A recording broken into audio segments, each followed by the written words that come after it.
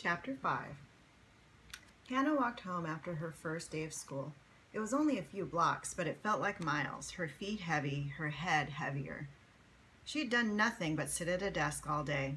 But the effort of worrying, what Miss Walters thought of her, whether the other students could see her face despite the scoop bonnet, how she would ever amass enough courage to take it off, it had all been more exhausting than she could have imagined. Supper was ready when Papa came in from the building site.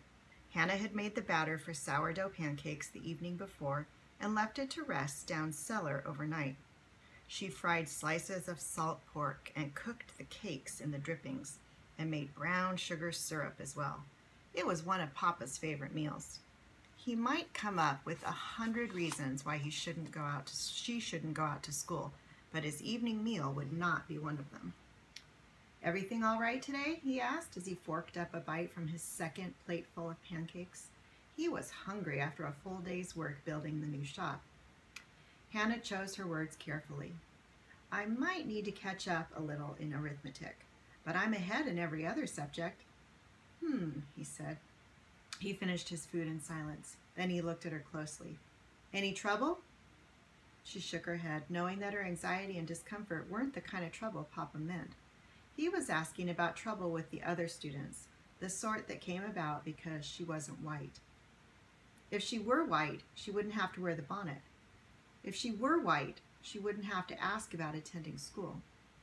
If she were white, Hannah could recall only one time in her life when she had wanted to be white. Back in Los Angeles, when she was around four years old, she'd seen an older girl whose blonde hair was all ringlets and curls. Hannah had taken a skein of yellow wool from Mama's knitting basket and played with it in front of the big mirror on the shop wall, draping the yarn over her head as she stared at her reflection. She'd been more interested in the curl than the color. She kept trying to twist and twirl the yarn into ringlets so different from her own straight tresses. Then Mama had seen what she was doing. Without a word, she took the wool away from Hannah. She brought out a hairbrush and a fine cord of red silk. After brushing Hannah's shoulder-length hair, she plaited it carefully, weaving in the silk cord, then wrapping and tying it at the bottom of the braid. Standing behind Hannah at the mirror, Mama moved the braid to rest on Hannah's shoulder. Hannah saw the red silk cord against her black hair, both of them smooth and shining. From that moment on, Hannah never again wished for blonde curls. How she missed it, the feel of Mama's hands doing her hair. If she were white, she wouldn't be Mama's daughter, and she wouldn't have the same understanding of the precious knowledge that Mama had revealed to her a few weeks before she died. I'm half-half too, just like you. Hannah didn't know a single person beside herself who was half Chinese and half white. Mama always said it made her special. When she was younger, some things about being half-half did seem gratifying. Their dinner might be bread or potatoes, or rice or noodles Chinese style. There were always two kinds of tea, green and black. Hannah could speak both Chinese and English. Papa knew some Chinese, way more than most white people, but Mama's English had been better than his Chinese. So, as a family, they had always spoken English. When it was just Hannah and Mama on their own, they usually spoke Chinese. But Hannah had not spoken Chinese for more than a year now since leaving Salt Lake City, Chinatown. Sometimes she felt she could almost see her Chinese slipping away, the words flitting around the edges of her memory and then flying off one by one. Most of the time, being half Asian and half white was special in a hurtful way. White people, except for Miss Lorna and a few of her church friends, didn't like Hannah because she wasn't white. Chinese people accepted her but didn't like Papa because he was. Hannah's Chinese half was what Mama had given her. How could she ever wish that away? But why did her being half and half bother other people so much? Then she learned that Mama too was half and half. At the time, Mama's lungs were so bad that she was spending most of the day wrapped in the brown and red plaid shawl and huddled in the rocking chair. When she spoke, she had to strain for mouthfuls of air between words. Hannah recalled what Mama had said without those painful gaps. China is big, very big. Chinese people are all different. North, south, mountain people, river people, rice people, noodle people. Americans don't know this. They think all Chinese are the same. Mama told Hannah stories about China, about temples and palaces with roofs of gold, about rice that grew in water up to its knees, the greenest green you could ever imagine, about dragons and phoenixes, emperors and princesses, jade and pearls. Family stories, too. Hannah learned about her grandmother, Mama's mother, who could embroider flowers and butterflies that you would swear were alive. And her grandfather, a merchant who traveled hundreds of miles every year to gather and sell a precious plant. Yansam, Mama said. She asked for paper and pencil, then wrote a Chinese word and showed it to Hannah. It looks like a man, head, arms, legs, grows like a potato. In the ground? Hannah asked. Like a root? Root, yes, for medicine. Mama pulled the shawl more tightly around her. Listen, she said, I never told you this. My papa, he was not Chinese. He came to China from another place. A beautiful place, a secret place, called Korea. Americans don't know that place. Hannah frowned, thinking hard. It's another country? Yes. So your mama was Chinese, but your papa? Yes, Korean. Mama smiled at her. I'm half-half too, just like you. Then she told Hannah some Korean stories about the rabbit who lived in the moon, the turtle in the Sea King's palace, how it was Koreans who had invented chopsticks and made the most beautiful pottery in the world. Mama didn't know very many Korean words. She'd spoken Chinese with her parents, but she was still proud of being half Korean. Your name is Hannah because of your grandmother, Mama said. Your white grandmother.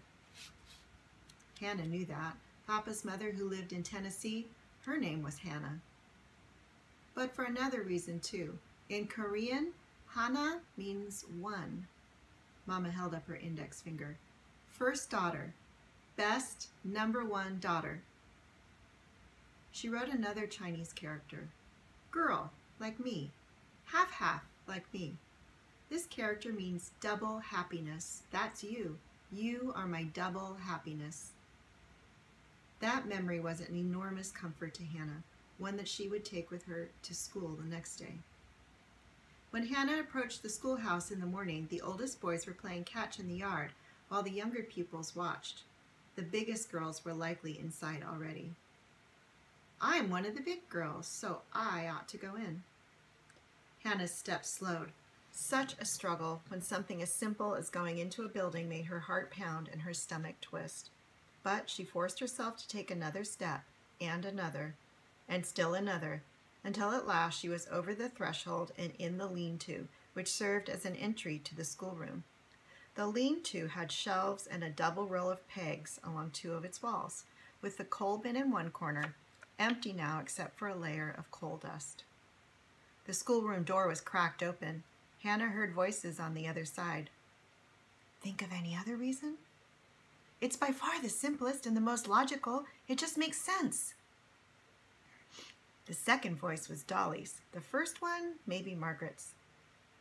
I don't see the use of guessing. That was Bess. Oh, fiddle, Dolly again. It's her own fault for wearing it. She must have known it would make people wonder. And if it's not a horrible birthmark, it's probably some kind of nasty scar. Hannah went stone still. They were talking about her, wondering why she hadn't taken off her bonnet the day before. Her head down, she stared at the books in her arms. The hem of her sleeve was turned up a little, revealing the tiny lotus she had embroidered there. Not what I planned. I wanted to make at least one friend first. Rotten eggs, it'll be harder this way. But Mama would say, that doesn't give me an excuse not to try. She shifted the book so she could touch the stitches of the lotus on her sleeve and smooth the fabric into place. Inhaling sharply, she went back to the lean-to's threshold and kicked the door frame loud enough to be heard in the schoolroom. The talk stopped at once. Hannah set her books down on a shelf. She took off her bonnet and hung it on a peg. The space around her suddenly felt enormous, her face and head now exposed. She inhaled deeply and breathed out with a whoosh.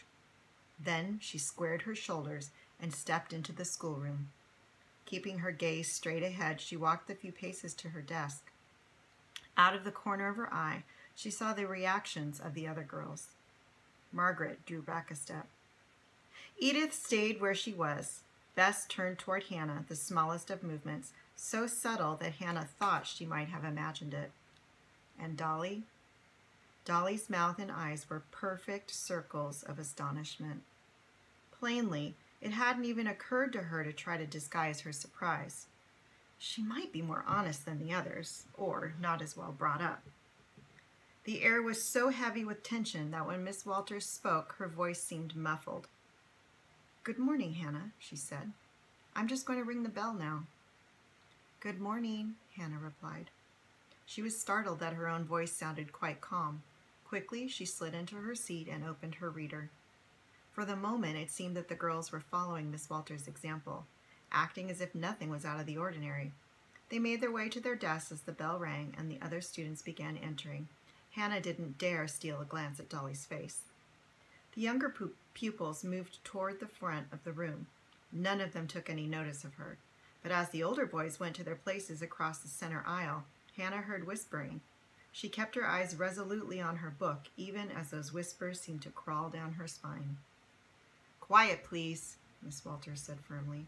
Fifth reader class, please choose a selection and use it for your grammar lesson.